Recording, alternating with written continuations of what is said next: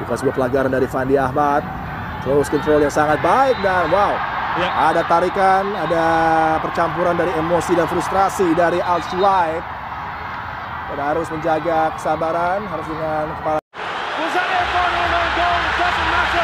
Indonesia have taken the lead right at the start.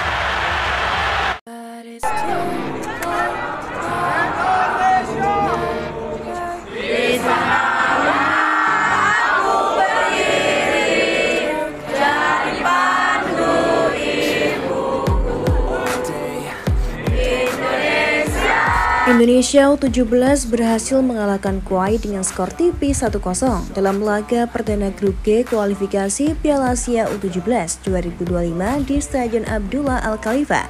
Gol timnas Indonesia U17 dibuat oleh Matthew Baker lewat sundulan kepala memanfaatkan sepak pojok dari sisi sebelah kanan.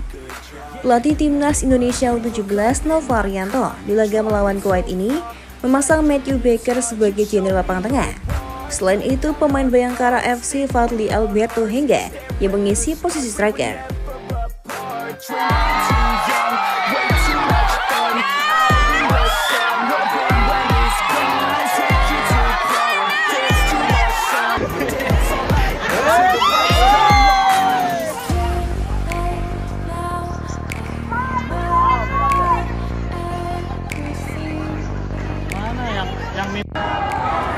Di pertandingan ini, para pemain Kuwait bermain agresif. Mereka melakukan banyak pelanggaran yang merugikan timnas Indonesia. Hingga ada sebuah momen ricuh yang terjadi ketika babak kedua hampir berakhir. Indonesia mendapatkan dua peluang emas jelang laga berakhir lewat gol Ethan Matthew. Sementara itu, para pemain timnas Kuwait mulai bermain kasar dan kerap melakukan provokasi ke penggawa Indonesia. Saat itu Fandi Ahmad yang beradu bola harus ditarik dengan kasar oleh pemain Kuwait. Hal itu memicu emosi pada pemain timnas lainnya, hingga keributan pun tak terhindarkan. Bukan sebuah pelanggaran dari Fandi Ahmad. Close control yang sangat baik dan wow. Ya. Ada tarikan, ada percampuran dari emosi dan frustrasi dari Al Suwaid.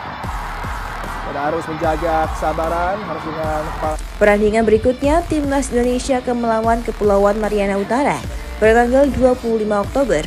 Sedangkan Kuwait akan berhadapan dengan Australia di hari yang sama. Indonesia untuk sementara memimpin klasemen grup G kualifikasi Piala Asia U17 2025 dengan nilai 3. Bukan pelanggaran dari Fandi Ahmad. Close control yang sangat baik dan wow. Ada tarikan, ada percampuran dari emosi dan frustrasi dari Al. Dan harus menjaga kesabaran, dengan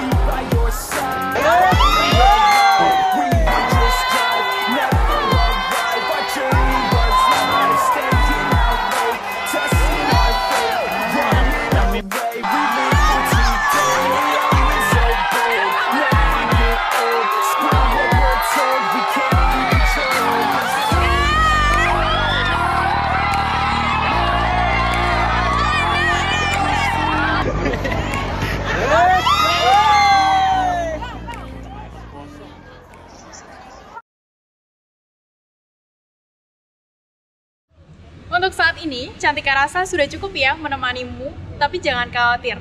Cantika akan selalu menemani hari-hari kosongmu. Jangan lupa subscribe Timnas TV, biar kamu nggak ketinggalan berita update seputar Timnas Indonesia.